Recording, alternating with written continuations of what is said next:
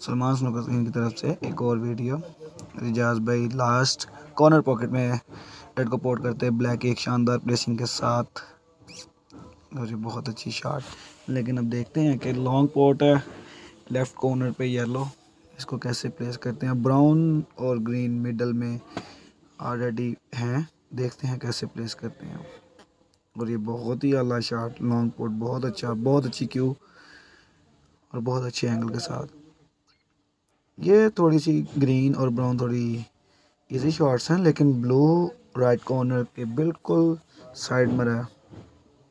बहुत अच्छी शॉट के साथ। ब्लू को भी थोड़ा प्लेस करते हुए उसका ग्रेट एंगल के साथ।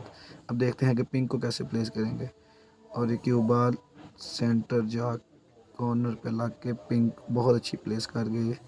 इजाज भाई। बहुत अच्छे प्लेयर और ये ब्लैक लास्ट कॉर्नर और ये एजाज भाई फ्रेम शॉट जीत चुके हैं अगेंस्ट मुजम्मल।